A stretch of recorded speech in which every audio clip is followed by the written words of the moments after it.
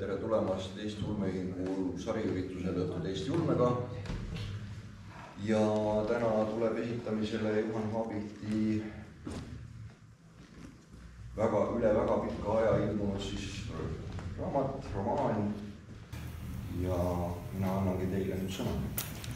palun eelmisest raamatust sai tõesti üsna täpselt kolmkümmend aastat, aga mulle, mulle tundub, et see on niisugune paras vahemaa, et jõuab nagu mõtteid koguda ja vaadata, mis maailmas toimub ja noh, kus siis nii väga kiiret. et see on peaaegu niisugune tunne, eks ole, nagu jälle debüüt, eks ole. jah, ja, ja ma vahepeal mõtlesin, et või püüdsin meelde tuletada, mul on tunne, et ma olen ikkagi sellest Tartu kirjanike majast ka kunagi käinud mingil üritusel aga noh, noorusest ikkagi assotsieerub, et Tartu Kirjanike Maja selle Uluotsa villaga sealt äh, Õpetaja tänavalt. siis siin oli midagi muud? siin oli midagi hoopis muud, jah. et kuigi selle Kirjanike Majaga, mis seal oli, ma küll noh, kontakteerusin küll ainult viimasel ülikooli semestril, vahe, vahepeal see oli remondis ja, ja, ja siis enne seda ma jälle ei tundnud, et, et mul sinna üldse asjagi oleks aga sellest on toredad mälestused jäänud ja sellest sealsest õhkkonnast. noh, ma veel ka siin ei, ei tunne veel päris täpselt, mis siin majas on. aga jah, kui nüüd äh, asja juurde minna, siis kirjastajal oli niisugune mõte, et kõigepealt tuleb esitada reklaamikõne. kuigi kuigi ma vaatan, et paljudel on raamat juba olemas, et neile nagu ei olekski vaja reklaamida, aga. ei, reklaamkõne on alati oluline. see, noh, ma mõtlesin, et, et kellele see raamat võiks mingisugust huvi või, või mingisugust meeldivat elamust pakkuda. ja siis mõtlesin, et, et võib-olla on, on lugejate hulgas neid, kes ei ole väga tõsikristlased et noh, mul on seal piibli allusioone küll ja need ei ole üldse pahatahtlikud, aga, aga mõnedki neist on pea peale pööratud ja noh, väga tõsiusklikud võib-olla pahandaksid. siis noh, võib-olla on neid, kes, kellel on tunne, et, et selle rohepesu käigus on tehtud noh, mitte kõige targemaid ja otsuseid ja, ja võib-olla seatud endale ebareaalseid tähtaegu. noh, siis, siis võib-olla, võib-olla on neid, kelle meelest sotsia-, sotsialism oma mitmekesistes vormides, alates natsionaalsotsialismist kuni sotsiaaldemokraatiani, ei ole võib-olla kõige adekvaatsem maailmavaade. ja siis, siis võib-olla on neid, kes kelle meelest pankade ülikasumid ei ole nagu päris õiglane asi ja välja teenitud ausal teel. Ja, ja võib-olla on isegi neid, kes leiavad, et et ametiühingud õigustasid ennast siis, kui nad olid noh, ütleme niisuguste keskaegsete tsunftide tasemel, noh, oskuste omandamiseks ja õpetamiseks, aga kui need hakkavad juba niimoodi turujõuna, jõuna sekkuma, siis siis on tegemist noh, noh sellega, mida ühel pool maakera öeldi, et see on kommunismi kool ja teisel pool öeldi, et, et see on maffia käepikendus ja tegelikult teebki sama välja. no vot, aga need ongi niisugused noh, need nimetatud pisiasjad, noh, romaan on nagu see jõgi, eks ole, voolab selles post-apo arenguloona, jõgi on palju öeldud, võib-olla ojakene niisugune ja, ja need minu nimetatud asjad on lihtsalt selle jõe ääres kallastel võib-olla hakkavad mõnele silma ja, ja võib-olla mõnele meeldivad ja võib-olla noh, jälle mõnele ei, ei meeldi. noh, aga ma pikemalt ei oska ka reklaamida. ma arvan, et see on suurepärane reklaam juba niigi. selles mõttes, et, et ma ise lugesin ta nüüd ka niimoodi mõnuga läbi kiiresti, kiiresti, kiiresti sest alguses pidi siin tooli peal istuma Saš äh,. mulle väga meeldis, ma alustan sellest. ja, ja, ja tegelikult äh, vaata nii nagu see paar kirja, mis me vahetasime, eks ole mm -hmm., et, et sina ütlesid, mida sa tahaksid ja mina ütlesin, et, et kuule, see on sinu õhtu. see on sinu romaan, see on sinu õhtu, sina oled selles mõttes ikkagi nii-öelda otsustaja kõiges. et, et ma võib-olla alustaksingi hoopis sellest, mis mulle endale tundus sellest sinu kirjast, selline mõnuga hingede, kus sellest paarist kirjast tuli välja, et oh, seal on taga sihuke hästi suur kirg. ehk siis sa ütlesid, et sa kindlasti tahaksid rääkida ja rõhutada oma seda kirjutamismeetodit mm. -hmm. et, et sellest, mida lugeja teab ja mida lugeja ei tea, et. Aa, seda, seda küll, tähendab, ma lähtusin sellest, et lugeja ei tohi teada rohkem kui peategelane või see tegelane, kellele parajasti see prožektor on, on suunatud. noh, mulle õudselt käivad närvidele noh, need eh, vanaaegsed jutud, kus on autori positsioonil kõike jutustatud, et nagu kõike teadav autor, eks ole, kuskil pilvepiirilt vaatab noh, tegelasi nagu sipelgaid, eks ole viskab vahele mingisuguse niisuguse cliffhangeri, et, et siis sellelt tänavanurgalt ta pööras paremale, aga ta ei teadnudki, kui valesti ta sellega tegi, eks ole. noh, kui niisugused asjad, noh, minu jaoks võtavad kaks hinnet umbes maha kindlasti, eks ole. noh, nii et see, sellise meetodi puhul no ega see ei ole midagi väga uut, eks ole, noh, ma ma olen jäänud, takerdunud umbes saja aasta tagusesse stiili, eks ole, kui tuli modernism ja äh, noh, Joyce pani hoiatusmärgi kuristiku servale oma selle sisemonoloogiga Ulyssesega, et si siiamaani ja mitte edasi, eks ole. ja Virginia Woolfil kat-, noh, tal jäi minu meelest natuke kohmakaks panna kõik need sisemonoloogid ja mõtted jutumärkidesse või, või noh, niimoodi erandada nii et sellest äh, modernismi alusepanijatest mulle David Herbert Lawrence meeldib nagu kõige rohkem. noh, äh, võib selle Lady Chatterley ära unustada, see oli lihtsalt kõige kõmulisem, aga kindlasti mitte kõige parem tema romaan. noh, aga see noh, olgu need vanad ajad pealegi, tähendab, et mis, mis ma selle, mis võib juhtuda selle, sellega, et eh, lugeja ei tea rohkem. Võib juhtuda, et lugeja teab vähem kui peategelane, eks ole, selles, selles mõttes, et eh, noh, iseenesestmõeldavatest asjadest ei räägita eks ole, noh, tähendab, vanaema on vanaema, no keegi ei mõtle, et mis on vanaema nimi või kuidas ta välja näeb, vanaema on kogu aeg olnud selline, eks ole. Noh, samamoodi isa ja onud ja tädi ja noh, märgatakse muutusi. kui vanaisa on hakanud lonkama, siis, siis seda pannakse korraks nagu tähele, eks ole. ja, ja kui tädi leiab endale elukaaslase, siis, siis vaadatakse seda meest ka noh, niimoodi alguses läbitungivama pilguga, eks ole. ja antud juhul ma tegelikult üldse ei tahtnud vana sõpra kuidagi kiusata ja mõnitada selle kuju, kõju, kujuga, noh, nimed tulevad ise ja noh.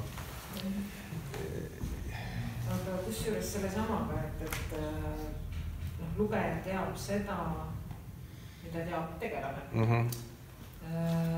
ma vean nüüd juba peaaegu et aastat Tartus noortele loo kirjutamise ringi ja me jõuame seal praktiliselt iga kord mingis mõttes sama kohani. et selles mõttes, kui ma kirjutan, et äh, ärkasin ja läksin kööki kohvi jooma, siis ma ei kirjelda koridori mm. -hmm. et see võib tulla hiljem, see võib tulla muud moodi, aga sel hetkel see ei ole absoluutselt loogiline. et, et igasuguseid selliseid asju, et selles mõttes mulle ka väga meeldis see, et sa selle välja tõid, et sa tahad sellest rääkida mulle endale tundub, et algajate autoritele on see ääretult oluline uuesti ja uuesti läbi mõtestada. jah, ja nii et tänu, tänu sulle on Tartu noortel lootust kirjutama õppida. ei no kas nüüd just selles mõttes, et õppida on kõikidel olemas. ma arvan, et ma olen väike mutter, kes pakub lihtsalt ruumi ja, ja võimalust oma mõtteid võib-olla natuke sirgemaks mõelda. aga aga sellest raamatust, et, et mis mulle selle raamatu puhul hullult meeldis, et kohe alguses ma tundsin, kuidas muie tuli näole. sa oled siin kasutanud hästi palju selliseid äh, sõnamänge ja keelemugandumisi ja, ja no kohe suhteliselt alguses tuleb see auväärsed, mida ma hetkel lahti ei kirjuta. aga kus siis äh, naistel käib see ette ja meestel käib see lõppu, eks ole mm -hmm., et lugejad otsigu ise see koht ülesse. aga, aga ma hea meelega loeksin siit algusest ühe lõigu no Mm. veidi aega istuti mõõtlikult vaikides. mõnel oli öeldud kausipõhjas soustijääke, mida leivatükiga kokku korjata. Aga eks peab siis jah, vaat-, võtma atribuudi ja rakendama aspekti, ütles vanaisa. tõusis püsti ja valas endale puhvetilt seisvast suurest klaaspurgist kruusitäie läbipaistvat vedelikku. mis seal purgis on, küsis Jeesus uudishimulikult. sa ju suur poiss, tähed juba selged seal peal on suurelt ja selgelt kirjas, ütles vanaisa. Jeebus läks uurima. tõesti oli purgile suurte punaste tähtedega midagi kirjutatud. no see täntaika juoma, veeris Jeebus kokku. vot just see tema ongi, kinnitas vanaisa. nägemisprotseduuri juurde kuulus äh, veel punane pallike, õigemini küll ainult pool sellest, mis kummipaelaga nina otsa kinnitati paela üks ots oli lahti tulnud ja vanaisa sidus selle nüüd jälle kinni. Jeebusele tundus, et tal on aega veel üks küsimus südamelt ära saada. aga kes see Taara on? No see, kes abitab. vanaisa tõmbas sõlme kokku ja rüüpas kruusist. ma olin vast sinu vanune või aastakese vanemgi, kui ma seda oma vanaisa käest küsisin. ja vanaelu ütles ainult nii palju, et Taara on üliõpilase parim sõber et kui sul pole enam üldse mitte midagi, aga oleks vaja, siis Taara on ikka abiks. nii et vähemalt tema ajal oli see nii. vanaisa sättis punase pallikese paika ja kohe oli ta ilme kuidagi terasem, läbinägelikum.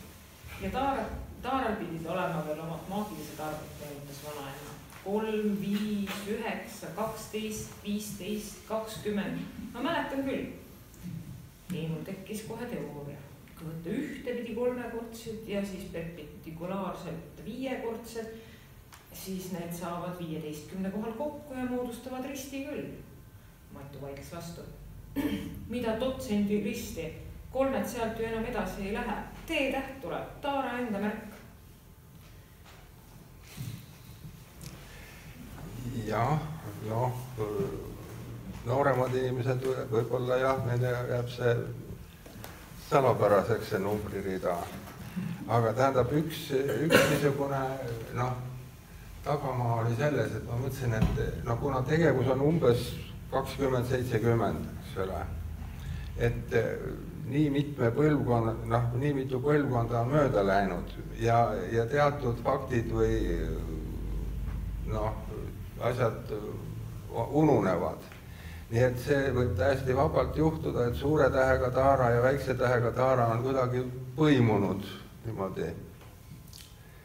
see üks, no see on, see on nüüd niimoodi kõrvalepõige sealt, noh, miks need asjad mulle meelde tulid. noh, tähendab, eks ole, et kolm on, oli majoneesipurk, viis oli pooleliitrine moosi või hoidisepurk, üheksa oli null koma kolmega kellukese pudel, kaksteist oli õlle või limonaadi või viinapudel, viisteist oli pooleliitrine piimapudel ja kakskümmend oli liitrine piimapudel, eks ole. tähendab, see, see, kuidas Taara aitab, see on üks kaugem, kaugem mälestuskild, see oli aasta aprilli lõpp ja aasta oli seitsekümmend kolm ilmselt. ühel kenal tütarlapsel oli sünnipäev. Noh, oli tekkinud mingi niisugune kamp, oli, tüdrukud olid ühest Tartu eliitkoolist ja, ja poisid olid esimese kursuse tudengid, noh, mitte, mitte kõik ühest teaduskonnast ja keegi oli isegi Põllumajandusakadeemiast ja nii edasi ja vist oli, vist oli kellegi erakas, noh, igatahes kedagi seal väga segamas ei olnud. noh, aga, aga selgus, et mõlema poole ettevalmistused olid jäänud veidi poolikuks. Noh, sünnipäevalapse parima sõbranna isa oli Tartu kaubandusvõrgus üsna-üsna tähtis tegelane. seega sai, oli tema kaudu hangitud eksootilist kraami tursamaksa. tursamaksa oli oksendamiseni. muuseas, ei lähegi väga palju vaja, kui, kui peale muud hammustada ei ole ja, ja viin on teatud niisuguse eripäraga. Ja siis noh, tähendab, poisid olid ühe viina jagu raha kokku saanud aga kuu lõpp, no enam ei ole raha, no ei ole, noh. tähendab, võis teha ühiselamusreide, eks ole, oma ühiselamusega, võõraid tõsiselt ei, noh, ei võetud, aga, aga noh, kui sa käisid toad läbi ja vaatasid, ega kellelgi ei ole vabu õllepudeleid, aga siis nad teadsid, et teinekord nad tulevad sinu tuppa, eks ole. noh, et natukene sai juurde.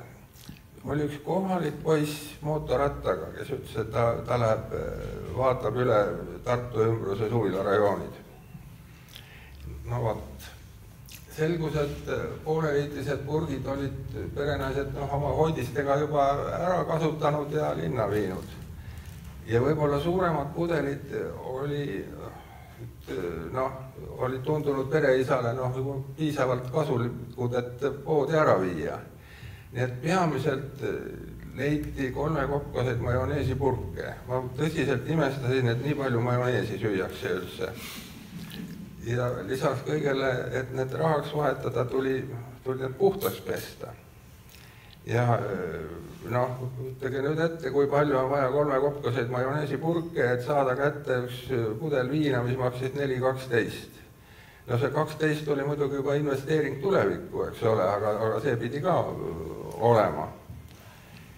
noh, sel ajal, kui käis see niisugune sebimine ja, ja ettevalmistustöö oli keegi võtnud puha, oma selle kooli lõpu sõrmuse ja hakkas seda puhastama tilgaode kolonniga. võttis suure kannu, noh, valas sinna tilgaode kolonni ja siis noh, puhastas, noh, sel, sel ajal neid ka, kooli lõpu sõrmuseid kasutati nagu kihlasõrmuste eest või noh, et kes kellega käib, eks ole, et noh, ma ei tea, kas praegu on, aga noh. no vot, lõpuks oli kaks pudelit viina olemas ja pikemalt mõtlemata valati see, need sinna suurde kannu, sõrmus oli sealt juba välja võetud, aga see Odek, noh, odekolonni tilk mitte. nii et see jättis, jättis nagu oma noh, kuidas see oli selle mee ja tökati ja, ja muude asjadega. nii et näiteks, et kui kui ma kuulen kuskil järjekordselt see, seda Singer-Vingeri laulu Kasevete aeg, siis hakkab mul nendest tegelastest kohutavalt kahju, kellest laulab seal. Noh, jah, see on see jah, Taara maagilised arvud, nii palju nendest. ja kusjuures see kaheksakümnendate keskel äh, ilmus edasi siis ühel esimesel septembril äh, nupukene pealkirjaga Kellel on mokad hoonesed ja selle nupukese sisu oli see, et äh, kuskilt siit Tartu kandi piimakombinaat ei saa, et on peatatud hapukoore tootmine, sellepärast et äh, inimesed tooge oma majoneesipurgid kokku ostu tagasi mm. -hmm. no vot jah ilmselt neid entusiaste oli vähe, kes neid kogu Nad võib-olla pöördusid valesse kohta ja oleks pidanud need tulevipeo hoopis korraldama selle asemel aga kui, kui ma seda asja siin kokku panin siis ma natuke kuulasin, et, et mida sa nagu varem oled rääkinud ja, ja kus ma mm -hmm. leian midagi ülesse ja ja selles reaktori intervjuus, mille sa oled väga põhjalikult vastanud, nii et äh, seda ma viskan sulle nüüd näkku niimoodi mitu korda täna äh,. oled sa kirjutanud, et tähendab, see küsimus oli selles, et, et, et kas sul oli tudengina kellegagi ulmest ka rääkida ja sellele sa oled vastanud lausega, et tähendab, kui on sõbrad siis nendega räägitakse igasugustest asjadest. mitte ainult mootorsõidukitest, veimist ja tüdrukutest, mis on iseenesest ju toredad teemad, aga noh, ja siis läks see vastus siit edasi. Hea küll, sõpradega sa ei rääkinud neist ainult, aga, aga siia sa oled peamiste teemadena sisse toonud võib-olla mitte vein, aga alkohoolsed joogid laiemalt on siin ikkagi suured sees. ja mootorsõidukitest ma tahaksin rääkida isegi võib-olla pikemalt tegelikult isegi jaa, selles mõttes, et äh, nendest sa ju tead ka päris palju, vähemalt teoreetiliselt. jah, noh, tähendab, kui Margus Kuuse hakkas neid muud autoajakirju või tehnikaajakirju tegema, siis ta võttis mind kunagi kampa tõesti, et, et ma lisaksin tehnikaajakirjadele inimlikku mõõdet, nagu ta seda ütle, ütles. et need mutrid ja poldid pani ta ise paika, eks ole, suurima täpsusega, aga noh, ei, ega noh, mis ma oskan öelda, ma mootorratta ma sain kunagi kaasavaraks. aga siis, siis kui ma kunagi jäin mingisuguste loo-, loominguliste noorte suvelaagrisse ülemäära kauaks, siis müüs naine selle maha. noh, tõtt-öelda ega, ega sellest enam palju järele ei olnud, noh, on üks, üks asi on see, mida seal mootorratta kasutamise juhendis öeldakse, et, et kõiki muid asju võite veel kuidagi noh, oma käe järgi noh, kruttida, aga relee regulaator jätke küll rahule heaga no vot, selle regulaatori vahele oli pistetud käbi, et ikka ta elektrit annaks. ja tundub, et see mootorratas on sul natukene hinges siin, aga selles mõttes, et sealt mootorratta, nendest mootorsõidukitest edasi, et äh, mida nad võimaldavad, nad võimaldavad liikuda, eks ole, selline postapokalüptiline maailm, siis noh, vabalt võiks ju ka minna sellesse, sest ta suhteliselt ongi agraarsesse ühiskonda mm -hmm. läinud noh, mina ja meie talu, meie küla, meie naaberküla mootorsõidukid annavad natuke suurema ruumi. ja siis saavad oma tegelasi siin erinevatesse Eesti linnadesse või noh, nendesse, mis sellest järele on jäänud, vedanud. Kas sa oled need linnad ise niimoodi selle raamatu kirjutamise ajal või pärast läbi käinud ja tead täpselt, et muidugi mitte. Aga on sul mingisugune ülevaade mõne, vähemalt mõne asja kohta, et vot, et see asi võiks toimuda? ei, tähendab, kus on selle Alice'i kodukoht, noh, see võiks olla kuskil seal Peipsi kandis mingi küla, eks ole, noh, tähendab, et noh, kus, kus olid tõesti need vene nimed, eks ole, tõsi, tõsistel Eesti inimestel vene nimed, noh,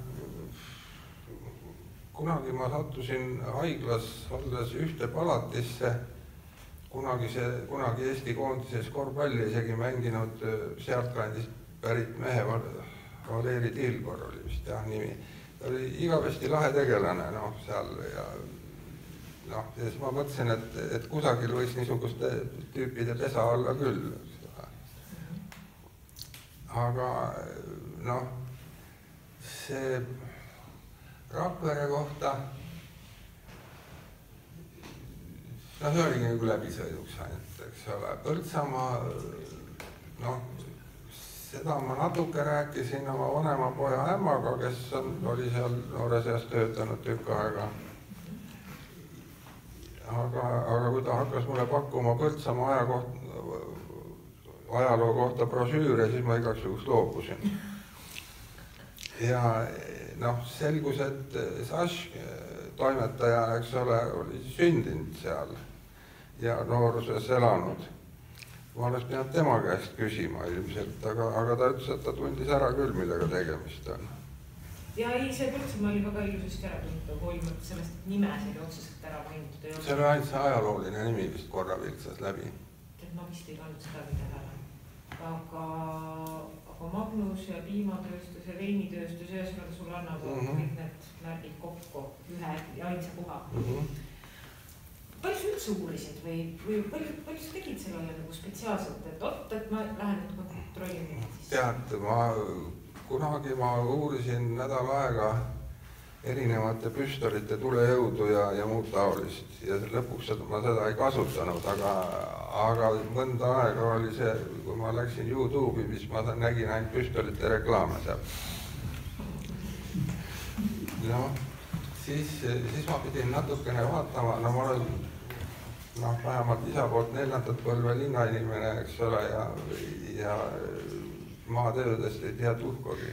et ma pidin natukene vaatama, et noh, milliseid töid millal tehakse ja, ja siis oli veel see segadus talivilja ja suviviljaga ja, ja noh, niisugune noh, aga jälle, et kuna kuna lugeja ei tohi teada rohkem kui poiss teadis ja poiss ei teadnud sellest eriti midagi, siis, siis noh, oleks võinud ju panna sinna, ütleme seal, kui nad selle noh, kilet maha võtsid maa pealt, eks ole, et, et näed, et siin kohas ei olnudki seda tuttavat turbalõhna, mis noh poiss ei teadnud, mis turvaski on, ma arvan, see kõlab loogiliselt. eks ole, ja seepärast ma seda ei, ei pannud sinna. aga tähendab, üks niisugune detail, detail, mida noh, proovilugejad, meessoost proovilugejad panid tähele ja ütlesid, et ei, et bensiin ei seisa nii kaua. Noh, et ikkagi paarkümmend aastat ja, ja noh, noh, oleneb natukene sellest mootorist ja selle keerukusest ja, ja võib-olla tõesti ei seisa, noh, kuigi väiksest peast mul oli abimootoriga jalgratas, noh, just nimelt, et jalgratas, millel oli mopeedimootor peale monteeritud ja ja see ei olnud nii esinduslik, et sellega bensiinijaama sõita ja siis ma otsisin majapidamistarvete poodidest igasuguseid asju ja ainus vedelik, millega ta käima ei läinud, oli priimuse süütamise vedelik. aga, aga noh, tähendab, et kogu sellest probleemistikust oleks saanud lihtsalt ühe lausega mööda, kui, kui noh, need poisi onud oleksid omavahelises jutuajamises noh, üks öelnud, et, et ja vedas kah, et Sipo jõudis enne seda suurt jama kõike noh, püsivama koostisega süütevedelikku teha. aga poiss ei olnud seda kuulmas. järelikult ta ei, ta ei saanudki seda teada, eks ole, mis, kui, kui väga tal vedas või, või, või mille arvelt tal vedas. see üks koht või noh, jah, tegelikult läbi terve raamatu paljude kohtade peal kus ma korduvalt jõudsin selleni, et oot-oot-oot ja tänavaga läksin ja igaks juhuks vaatasin üle ka. et äh, oli küsimus, no kõik algab ju sellest, et, et midagi on meie kliimaga totaalselt vasakule läinud. maailm on katki, inimesi on kõvasti vähem, asi on kaoses ja nii edasi. merevesi on tõusnud tööstuslikult äh,, aga mitte kogu polaarjää ei ole ära sulanud sest muidu oleks Põltsamaa sadamalinn mm. -hmm. selle ma vaatasin täna üle. ja kuna neil oli seal see probleem ka, et, et lõuna poolt on ohtu oodata, siis äh, noh, kui Peipsi järvest on saanud Pärnu lahe sopistus, siis äh, ei ole Põltsamaal mingit äh, ei, selge jah. tähendab, ma, ma veidi vaatasin ka, noh, on ju neid gra-, noh, liikuvaid pilte, eks ole, aga ma otsustasin neid mitte tähele panna ma hinnanguliselt arvasin, et, et, et sa oled merevett tõstnud kuskil sihuke viisteist, kakskümmend meetrit. et sellega on juba võimalik tekitada mereäärsetesse linnadesse seda tüüpi kaos, nagu mm -hmm. seal oli. aga et sisemaa, mis on tartlastele väga hea uudis, sellepärast et Tartu koha peal on Emajõgi kolmkümmend meetrit merepinnast mm. -hmm. napilt jääme kuiva jalaga, napilt aga, aga selles mõttes, et, okei okay.. no see uurimise kohta oligi muidugi minu jaoks jooksis veel see mõte, et, et ahah, et, et noh, sul on ju jumal küll viiskümmend aastat kogemust. ehk mm -hmm. siis äh, tõenäoliselt oled sa erinevate tõlkeraamatutega pidanud erinevaid detaile otsima oma elus äh, nõrkemiseni. ja, ja selle pealt noh, puusalt tulistada küll üks lahe lugu välja aa, selles osas, mis sa ette lugesid, eks ole, et, et kui vanaisa ütleb, et peab, peab rakendama see aspekt ja atribuut mm. -hmm. tähendab, see on Amberist, kõigil, kõigil neil Amberi printsidel oli oma aspekt ja atribuut, noh, või see eripära, no ma mõtlesin, kas keegi märkab või ei märka, no tühja, eks ole, aga see kõlas salapäraselt. see kõlas väga hästi sealjuures. ja, ja ütleme, et noh, neid noh teadmisi või fakte või, või hüpoteese või asju ma ei ole päris kindel, et ma nüüd kasutanud oleks, aga, aga tähendab noh, natukene õppinud ikka olen, eks ole, ja ma noh, panin jälle tähele, et kõige rohkem mulle meeldib dialoog kirjutada ja looduskirjeldusi mitte eriti. ja, ja ma loodan, et, et või tähendab, ma arvan, et ma olen seda dialoogide kirjutamist niisuguste dialoogide, kus, kus ei öelda kogu tõtt, võib-olla ainult vihjatakse, kui sedagi, eks ole, et äh, õppinud Selasnilt. et need Selasni dialoogid on mulle kangesti meeldinud mm. -hmm. sellesama atribuudi aspekti juures, et üleüldse kogu see raamat on hästi tiinelt täis erinevaid äh, vihjeid, erine- ja, ja ta on sihuke mõnus pudru ja kapsad, et, et on erinevad kultuuriruumid, erinevad usundid, müüdid muutuvad, mängud muutuvad, kõik on täpselt äh, äh, selles skaalas äh, no ma kunagi tegin neljandate klassidega raamatukogutundi, kus äh, küsisin nende käest, et, et äh, kes on müütilised tegelased ja, ja enamasti tuli sinna erinevaid vastuseid, aga nende hulka peaaegu kõikides klassides tuli ka Sipsik. No ja siis, äh, ja siis me arutasime teemal, et kuidas võiks saada Sipsikust müütiline tegelane ja sina oled põhimõtteliselt võtnud kogu selle meie kaasaegse maailma ja kogu selle inimkonna mälu ja muutnud ta selliseks, et neist on saanud müütilised esemed mm. -hmm. no ajaga ju juhtub niimoodi, eks ole. et mõnedki asjad, mida keegi enam täpselt ei mäleta ja mäletatakse jutte, mida on räägitud, eks ole, ja noh. tähendab, ühte ma peaks vist tunnistama, et eh, insener Buratin ei ole päris minu leiutis.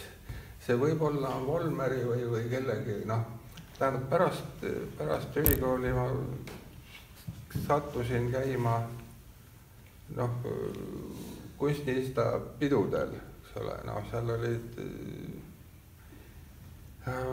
noh, õhkkond, eks ole, ja, ja kogu see asi, mida nad seal lava peal tegid, see sel ajal ei olnud veel trusti ega päratrusti, siis oli selle loomingulise kollektiivi nimi vist Sülf. noh, aga no vot see, see insener Buratin oli nende sketšide üks tegelane aga kõik muu on peaaegu nagu selles Aleksei Tolstoidi töötluses. peaaegu, jätame siis lugejale selle rõõmustamise, et, et mis on ja mis ei ole, aga, aga vähemalt lugu on äratuntav täiesti selgelt mm, -hmm. see küll. lugu on äratuntav või ei ole äratuntav, ma lugesin seda raamatut ja mul terve selle raamatu ajal kogu aeg jookseb, et, et selles on midagi tuttavlikku, ma tahaks öelda, et see on mingile raamatule sarnane ja siis ma olin, et aga ma ei tea millele. Natukene mingis mõttes meenutab oma selliselt äh, hoiakult ja olemuselt äh,, mulle tundub neid äh, Mandi ja Metsavana kokku kirjutatud noortekaid mingisugusest emotsionaalsest minemisest. natuke meenutas Selasnit, natukene meenutas Heinleini noortekaid ja, ja siis ma olin siuke, aga ei ole nagu ühtegi ma ei tahaks öelda, et see on nagu see. ja siis täna hommikul Jürka pani üles oma selle baasi, baasi jah, ja, ja. ja on sinna ilusasti juurde kirjutanud, et äh, parafraseerides üht tuntud ütlust iseloomustaks ma romaani nõnda. John Wyndham ei ole lugenud, oled? vaat tuugenite romaan on täpselt nagu mõni Wyndhami romaan, aga samas pole üldse sarnane. ja siis ma sain aru, et jah, jah, täpselt seda ma mõtlesin kõik. selle kohta ma võin äkki jah öelda, et see, kui äh, esimene tšuks käis, sai, sai tuusiku Moskvasse, eks ole, ja jõuab kodukülla tagasi ja siis teised tšuksid küsivad, et noh, mis sa siis nägid ja kus sa käisid ja kas sa loomaajas käisid ja no ikka käisin ja kes see kõige suurem loom siis seal loomaajas on, et noh, et eks ikka elevant ja mismoodi elevant välja näeb, täp-, nagu põder, aga üldse ei ole sarnane. see, on nagu põder, aga tal on kahe poolt sama see, et siin neid variatsioone on ilmselt erinevaid aktsente. aga, aga see seos Winhamiga jõudis jah, minule ka koju, et, et äh, ma ei tea, palju sa ise Winhami ah,, ei, sa tegelikult olid juba intervjuus öelnud, et, et sa oled teda lugenud. noh, Trifiide päeva küll jah, aga, aga mul väga nagu muud ei meenu praegu mm.. aga, aga see on siis see hea rollimise koht, et, et äh, mis sul praegu meenub, nimeta mulle viis sellist head ulmeautorit, keda sa tahaksid mulle öelda, et kuule. tähendab see Ats Miller või kirjaniku nimega Veskimees, ta aeg-ajalt või noh, tähendab mõni aeg tagasi just küsis, et soovita midagi, eks ole, et lugemiseks ja, ja et mida võib-olla saaks ta noh, tõlkida ja välja anda. noh, ma siis olen talle mõningaid asju saatnud. noh, tähendab minu vaieldamatu see number üks kirjanik on William Gibson ikkagi, eks ole noh, siis on Stross. Strossil vahepeal jooksid korraga kaks sarja, nüüd on vist ära lõppenud või ma, ma ei ole vaadanud. siis on Richard Kadri. noh, selle kohta Ats ütles, et, et see Sandman Slimi esimene osa talle täitsa meeldis. mina ütlesin, et, et mulle küll, mulle ka meeldib, aga tõlkima ma seda ei hakka. Ja siis ta noh, ta ütles, et ega ta tõlkimise peale ei mõelnudki, eks ole. noh, kes noh, Dave Hutchinson, eks ole, kelle, kelle see Euroopa sügise ma tõlkisin ära ja, ja sinna, sinna paika see jäi, eks ole, noh, ta kirjutas sellele mitte ainult kolm järge, aga, aga igast asju on ta veel kirjutanud. Noh, need ei ole väga ulmelised, seal on noh, mingisugunegi ulmeline moment, mille ümber siis keritakse üsna realistlikku juttu. noh, siis Aino jälle selle Atsiga kirju vahetades. noh, ma tean, et talle Skaltsi meeldib kangesti ja siis ma saatsin talle selle Skaltsi viimase kaanepildi. Beginning Villain või, või, või mis ta seal oligi. noh, kus on kaane peal on ülikonnastatud kass niisugune noh. ja aga see talle kangesti ei meeldi, ta ei, ta vastu vastaski, et seda ta luges läbi ja noh, baasis on pikk kuri arvustus selle kohta, noh. jah, minu meelest olid need äh, mõistusega kassid ja, ja delfiinid päris toredad, noh. Ei, ma, ma ei ütle, et see, et ma, et ma nüüd hakkaks üle lugema mitu korda, aga, aga ma olen ainult nelja nimetanud praegu, eks ole äh, vaata, mul ei tule need, need meelde. või noh, ei vaadanud üle, tähendab vene nimi, tähendab Ukrainast pärit abielupaar. Mingil ajal nad kolisid Ukrainast Moskvasse ja siis sealt edasi juba Ameerikasse. mees suri poolteist aastat tagasi, naine oli. Tjatšenkod, jah tähendab, mulle kangesti on hakanud meeldima nende viimased asjad, eks ole, ma olen küll lugenud rohkem inglise keeles ja, ja ma ei tea, kui adekvaatne see nüüd on, aga noh.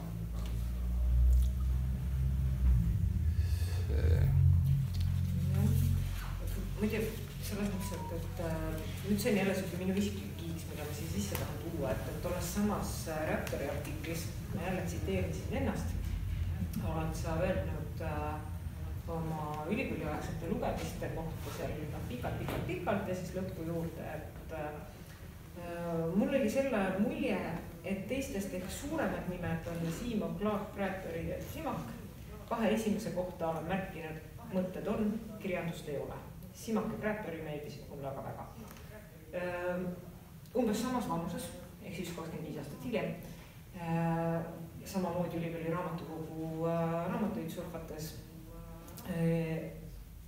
Mulle Clark väga meeldis tol hetkel, aga, aga sellesama koha pealt jõudsin ma järeldusele, et science fiction on üks huvitav äh,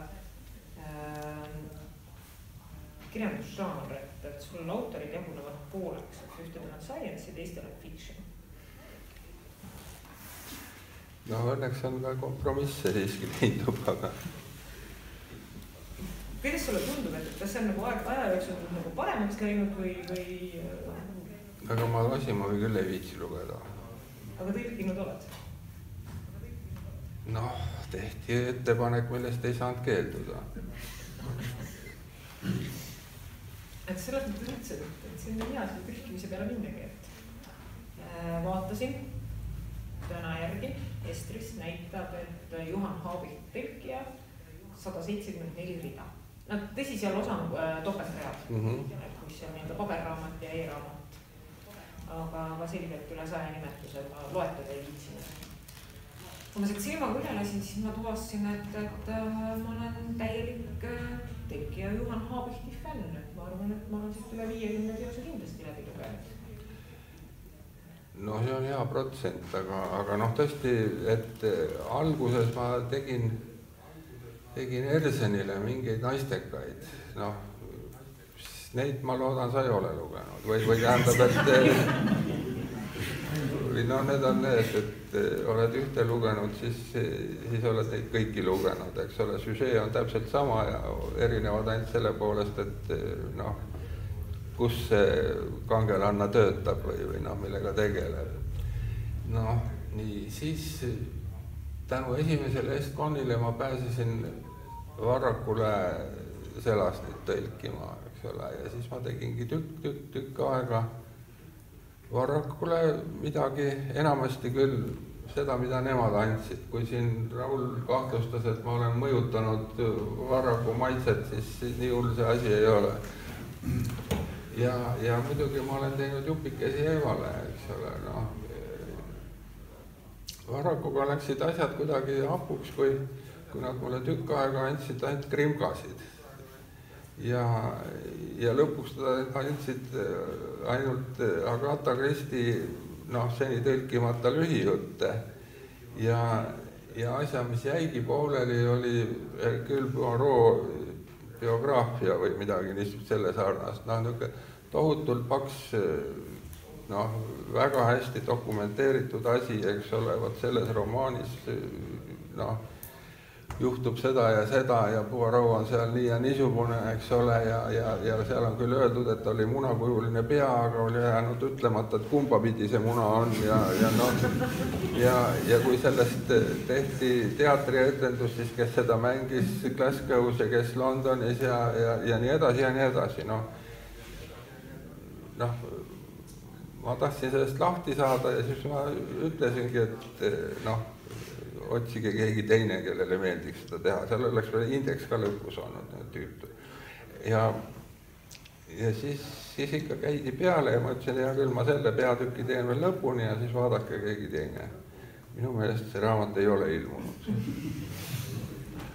ja noh, ja siis me peale seda ei olegi nagu suurt suhelnud enam aga kui sa nagu võtad oma kõikidest nendest Äh, noh, selles mõttes, et, et äh, noh, Selasni suurem osa tõlgitud asju on tulnud läbi sinu käe, eks ole mm -hmm.. üksikut, tähendab, vähemalt see, see ainus romaan, mis mulle tema teostest ei ole meeldinud, ei ole sinu tõlgitud äh,. kõik need sinu tõlgitud nimed tundusid mulle järjest, et, et see oli väga hea, see oli väga hea, see oli väga hea. miks sa ei ole suutnud ühelegi kirjastusele maha müüa This Immortalit? Vaatame seda asja ja vaatame seda asja. tähendab see, noh, tähendab ma arvan ise ka, et, et selles neil on asju, mida veel tasub võtta. ja, ja võib-olla on isegi mõni selasni, mida ma ei ole lugenud, ma ei tea, kahtlane, aga, aga võib-olla jah see, kui, kui anti need vahendid, siis ma, siis ma vähemalt noh, et, et mitte jääda jah, kasutamata. tähendab, et seal, kui oli juttu nimedest, mis sa ütlesid, et äh, miks arvab või miks ütleb vana, vanaema, et, et kunagi oli populaarne poisslapse nimi Kidrok? kes teab? saalis on äh, muhedaid muigeid ja nuttuid pearahvusi. noh, seal, no see on jälle mugandus, noh, noh, see tukilapsed olema. see, see tuleks noh, natukene.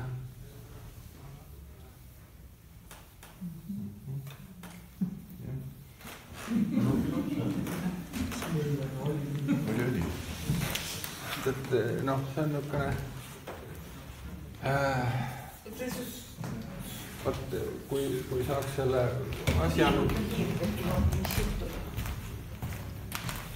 see, see video, mis peaaegu käima läks, tähendab, see, see mõjus mulle natukene inspireerivalt, aga ma tund-, tundus, et no see on niisugustest toredatest looduslähedastest inimestest, kes naudivad oma, oma kaunist loodust ja, ja nii edasi. ja ma, ma kartsin, et ma, vot nii linna seda looduslähedast õhkkonda ma lihtsalt ei suuda kirjeldada, et mm -hmm. et noh, võib-olla see Jeebus oleks võinud olla seal see motohuviline poisiklutt general Lee põsemaalinguga, aga, aga noh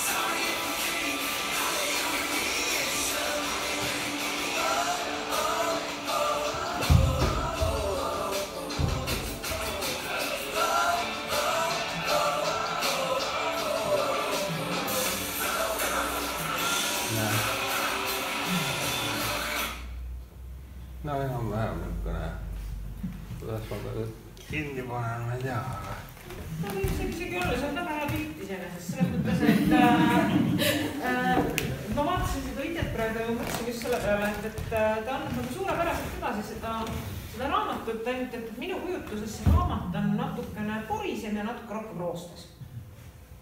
no aga muidu mingites selles väikestes rõõmudes ja suurtes relvades on äh, sarnasus täitsa olemas. no lihtsalt jah, et päris niisugust perekonda ma ei oleks osanud kirjutada.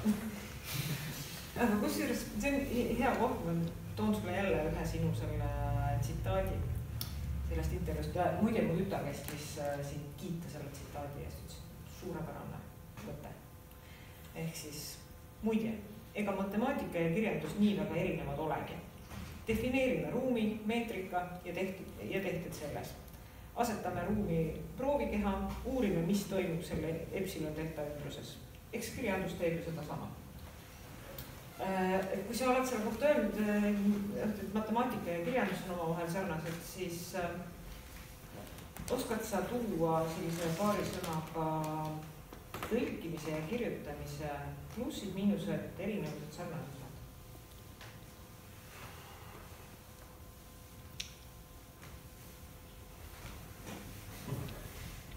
noh, üks asi on muidugi see eesmärk, et, et nii tõlkides kui kirjutades tahaks tekitada sujuva teksti, noh, et ta, et kui originaali lugeja ei takerdu selle koha peal, kuigi seal võib olla keeruline lause, kui seda sõna-sõnalt hakata ümber tõstma et siis noh, kui see, kui see ei ole mõeldud takerdumise kohana, siis ei tohiks ka eesti keeles lugeja selle koha peal takerduda. Noh, noh, võib-olla vahel tuleb selleks pikk-pikk-pikk kroonikalause teha kolmeks väiksemaks kroonikalauseks, eks ole, nagu oli selle ristiretke puhul, eks ole, või noh, Paul Andersoni puhul. aga, aga ma tooks võib-olla teistpidi seostaks tõlkimise ja, ja matemaatika või, või ühe matemaatika harudest, eks ole. Noh, ma olin mm, peale ülikooli umbes kolmteist aastat eh, tipis programmeerija, eks ole. ja, ja see programmeerija töö, see on, see on ka nagu tõlkija töö, eks ole, sa tõlgid inseneri mõtet arvutile arusaadavasse keelde, eks ole, noh, Basic usse või Fortranisse või Lispi või noh, neid keeli, eks ole, mitu oma eripäradega, eks ole, mida saab teha ühes keeles ja mida ei saa teha. noh, nii et see ja, ja see arvuti on märksa kapriissem lugeja, eks ole kui koma on vale koha peal, siis ta ütleb, et see, see ei tööta niimoodi, eks ole. ja ei, tegelikult on lugejaid ka väga kapriisseid. jaa, muidugi. Äh, mul oli hästi vahva kogemus just täpselt ühe hästi lihtsa naistega ka eelmisel suvel. Äh, laenustasin ta Kesklinna raamatukogust.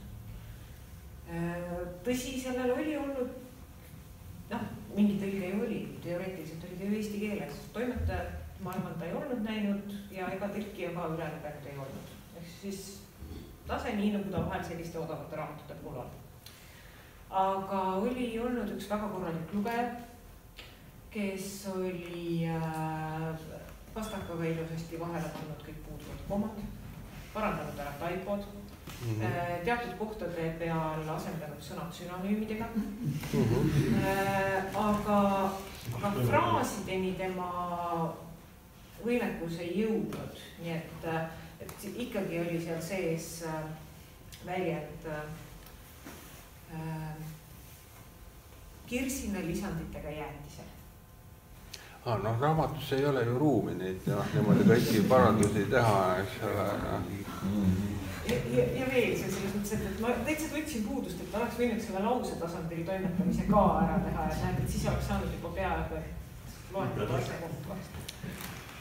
noh, tõlked, et asja, noh, tähendab see, ma vahel vaatan telekast mingisuguseid noh, Exploreri või Discovery või, või nende pealt niisuguseid noh, nad ei ole päris reality show, show või tähendab, nad ongi reality, eks ole, ja et noh, mida ma olen vaadanud, vahel on äh, kullaotsijad Alaskal või, või, või sealt merepõhjast Nõumis ja, ja noh, igatahes nad töötavad suurte ekskavaatoritega. mõni aeg tagasi, paar aastat tagasi ütleme, kui subtiitreid vaadata või neid subtiitri tõlkijaid, noh siis neljal juhul viiest oli ekskavaatoril ämber mit-, noh, ühel juhul siiski kopp. noh, asi on läinud paremaks, nüüd on juba viiest kahel juhul kopp. ja, ja noh, neid autoasju, eks ole, noh, seal on neid vanade autode restaureerijate sarju ja asju, noh, noh, seal on ka imestama panevaid leide vahel aga noh, mitte, et ma tahaks neid ise tõlkida ausalt öeldes. vot nii, äh, ma siia lõppu toon, pööran nüüd ümber jällegi vaatasin, aga, aga ma pean kahjuks tunnistama, et ma ise ei ole lugenud neid sinu varem ilmunud raamatuid. õigemini Äh, selles mängus ei hüpata, kaanepilt tuli tuttav ette, aga mul puudub igasugune mälestus ja, ja sisukirjeldus ei andnud ka mitte midagi ja ma arvan, et isegi kui sa kirjeldaksid pikemalt, see ei annaks ikka mitte midagi mm. -hmm. et äh, juhul, kui see on neelatud selles neljateistaastane lugeja, kes lihtsalt marsib läbi mingisuguste lugude, siis, siis kott ei jää püsima mm. -hmm. Äh, aga, aga mida ma vaatasin selles vaatenurgast, et äh, esimese novelli kogukirjeldus. autori esimene jutukogu kujutab noori, kes oma esmaste iseseisvat otsustamist nõudvate probleemidega vastamisi satuvad. teise novelli kogukirjeldus. noore autori teise proosakogu jutustuste sisuks on noorte inimeste elu, mille keerdkäikudest jõuavad nad lahendusteni eh, et õigused ja kohustused, armastus ja vastutus on lahutamatud püsiva väärtusega mõisted. no ja siis selle romaani kirjeldus mäng algab sellega, et üks noor kutt on linna tulnud ööeluga tutvuma ja seisab baariketi ees. surma saamiseks on igasuguseid näljakaid võimalusi. pimedas nurgataguses lööb pett äh, su kohe maha, aga halvasti lõpeb ka kat, katse taksost või poest maksmata jalga lasta. kõige üllatavam on see, mis juhtub, kui peldikus vett satub tõmbama. kolm punkti äh, ja nüüd siis see romaan, eks ole, ehk siis äh, see on ka selgelt noortekas sul on? ma kohe, ma kirjutades ei tulnud selle peale, aga, aga hiljem õudusega avastasin ja. sest, sest see on nagu hästi selgelt äh, kujunemislugu, peategelane alustab neliteist, lõpetab kuskil seitseteist, kaheksateist. no võib-olla isegi ainult kuusteist, eks ole, või noh, jah, ja. jah, noh, midagi sinnakanti. ja, ja, ja selles mõttes kõik need äh, noorsooروmaani äh, osad, see kasvamine, küpsemine, oma koha leidmine, isegi esimene armastus, mehistumine, kõik need on siin sees. ainus asi, mis sellest äh, äh, tõelisest definitsioonist eristab, on see, et, et selline klassikaline noorsooromaan on siis see, kus täiskasvanud on tagaplaanil, aga siin on nad täiesti selgelt kogu aeg kõrval olemas tähendab, nii palju ma ütleks vahele, et, et ega vanasti ei kir kirjutanud autor ise neid tagakaanet tutvustavaid tekste. Need äh, kirjutati nii, et oleks Nõukogude oludes sobilik, noh. ja, ja noh, nii esikaant kui ka tagakaant nägin ma esimest korda siis, kui see raamat ilmus, eks ole. mul ei olnud mingit sõnaõigust seal no võib-olla selle hüppamise romaani puhul oleks saanud, aga ju võib-olla ma ei viitsinud või, või noh, sel, sel ajal, kui ma alles otsisin sõpra, kes võiks mulle meelepärase kaane teha, siis oli asi juba tehtud ja trükki antud. aga kuidas sa nagu ise üldse tunned sellest, et, et jagatakse niimoodi, liigitatakse noortekateks ja mitte noortekateks ja, ja? noh ma ei mäleta, kes see naisautor oli või ulmekas või tähendab, et kelle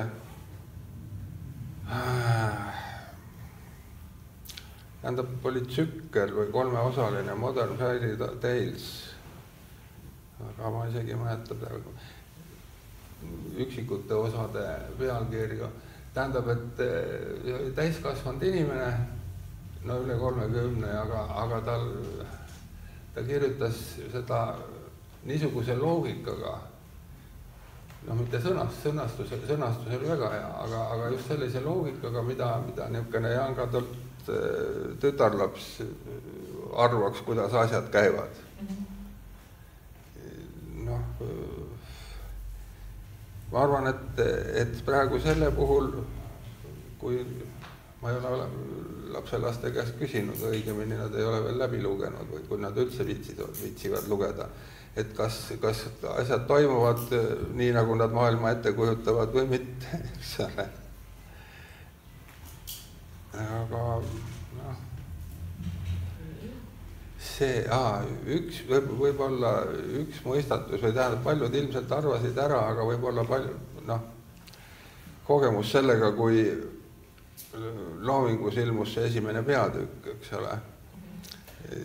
see loomingu proosatoimetaja lõpuni ei saanud aru, mis asi see on, kui, kui vahetatakse paagetäis seitse kuutekümmet kahte nelja paagetäie vilja vastu. noh, jah, noh, ja, ja kui, kui pärast, et nagu hinnad muutusid ja küsiti juba viis pange vilja, et siis, siis oli selle noh, toimetaja esimene mõte muidugi, et jagame seitse kuuskümmend kaks neljaga, korrutame viiega ja saame noh, üheksa millegagi, eks ole.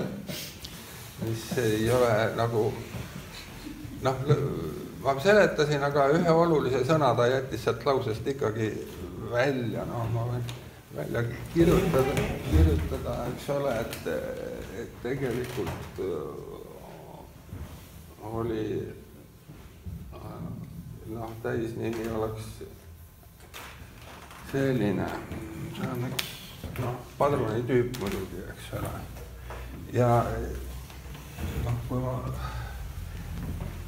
äh, tähendab seda lao moodi asja, mida, mis, mis seal on, mitte küll nii dramaatiline, aga, aga midagi väga selle sarnast ma olen elus näinud tähendab, nõukaajal said noormehed ju ülikoolist kaasa need leitnandi pagunid, eks ole, ja, ja siis praeguste üliõpilasseltside aset täitsid nõukaarmee kordusõppused.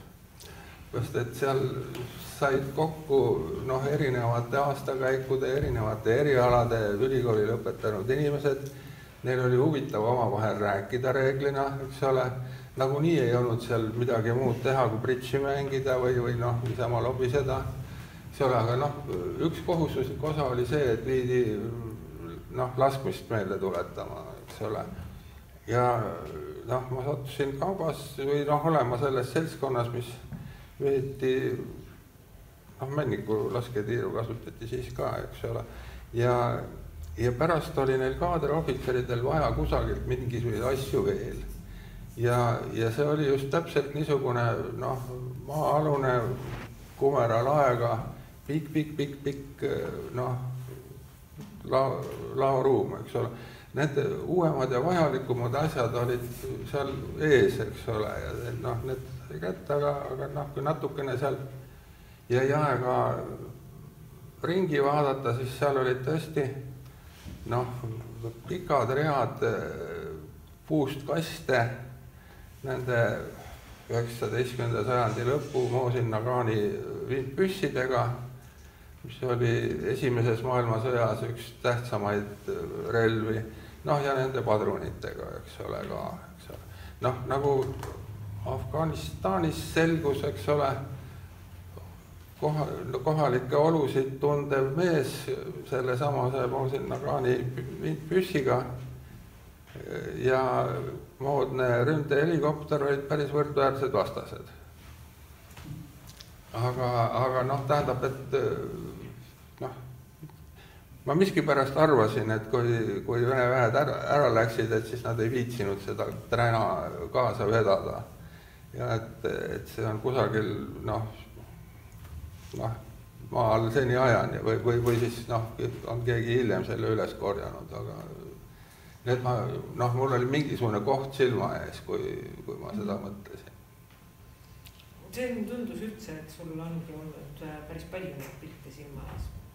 Äh, miks ma selle noorte teema peale läksin, oli see, et, et mulle tegelikult tohutult meeldis äh, üks lause sellest raamatust, mida ütleb siis Põltsamaa linnapea põhimõtteliselt. Mm, ärge öelge, et noored on hukas, noored on tublid, noored on meie tulevik. Neile tuleb ainult tee kätte näidata. see ei olnud seal päris tõsiselt mõeldud, aga. aga see on äh, suurepärane lause mis annab täpselt selle, mida, mida ta siit annab, et kontekst annabki võimaluse teda lõigata nagu ühtepidi, teistpidi ja kolmandat pidi. no võib-olla jah. ei, see ei, ma kujutasin seda ette noh, niimoodi par, parima propaganda lausena, eks ole, eks ole, aga jah. oota, ma mõtlen, kas on veel mingisuguseid saladusi jäänud sinna noh, see, et, et noh, nimede kohta seda, seda ma nii mõtlesingi, et mõne, mõned asjad tulid iseenesest kuidagi kaasa ja mõne, mõnesid tuli noh, tund-, lihtsalt tundusid sobivatena, eks ole, ja kui, ja kui ma seal äh, Aaroni ja Moosese rollid ümber vahetasin, eks ole, noh, see jälle väike nali niisugune, eks ole, noh. lihtsalt äh, kultuurilist nimede väärindamist oli seal päris mõnuga. mitte ainult nimede, vaid esemete ja absoluutselt kõiges. et äh, mulle tundub, et, äh, et see lugu vähe sellest, et ta on selline hoogne relvadega noortekas, on ta ka selline kultuuriline maiuspala ja väike huumori nautimise hetk. noh, ju need on kuidagi iseenesest tekkinud, seepärast see kirjutamise protsess oli umbes selline, et, et kui ma tahtsin magama jääda, siis need tüübid tulid ja hakkasid seletama mulle, et, et mis, mis, mida nad teevad ja, ja, ja noh, dialoogid hakkasid jooksma ja aga häda oli selles, et kui ma siis järgmine õhtu noh, arvuti taha, istusin, ma teadsin, mis toimub ülejärgmisel leheküljel, aga ma ei teadnud, mis toimub seal vahepealsel leheküljel, eks. aga kuidas ta kirjutatud on, selles mõttes, et alustasid algusest ja lõpetasid lõpus? jaa, vot tähendab, ei, ma olen tahtnud alati kinnitada, et ma, ma ei kirjuta mustandeid, ma kirjutan kohe puhtandeid. -hmm aga, aga see, kui ta esimene kord Saši käest tagasi tuli, siis selgus, et ta väga, väga puhtalt ikka ei ole küll. Nii, aga on siitpoolt keegi tahab midagi küsida? ja ma tahtsin lihtsalt parandada, et minu arust see aspekti tõstmine oli sedasi valguslisandes. võib-olla seal ka, aga, aga neil printsidel oli ka äh, igaühel oma mingisugune. no neil oli oma kiiks jah, aga. aga enne on ikka seal terminitena on ta valguslisand tõlkes kindlasti olemas. ei, seal võib küll olla jah, ja aga, aga minu meelest mainiti noh, nagu. mitte sõna, sõnaga koos aspekt koos selle muu asjaga aga algusisandus olid mõlemad korraga mm. -hmm. aga selles mõttes, et, kui küsimusi ei ole, siis minul oli väga põnev siin praegu sinuga rääkida. ma loodan, et sa võtsid kodus kaasa hunniku autogramme. no mõned, mõned andsin juba ära jah. jah, et äh, ma siit kohe niimoodi esimese küsin endale ja siis äh, ma ütlen sulle suure aitäh ja, ja lasen teised ka autograami jahile tulla. jah, teile ka aitäh. jah, aitäh, aitäh.